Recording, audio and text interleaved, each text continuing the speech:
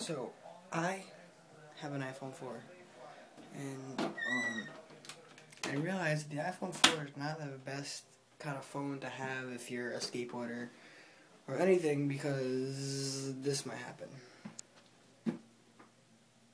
Something like this would just, just completely just fucked. Done. Know. Fucked up.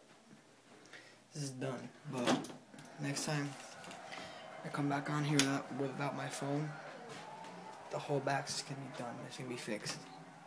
I'm gonna fix all of it. So it's gonna be a different color: red, orange, black, yellow, fucking not whatever color I want it to be.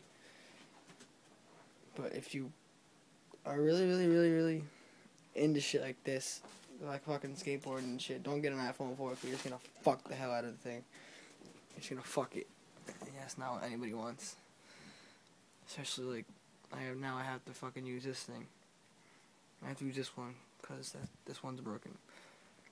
But yeah. Peace.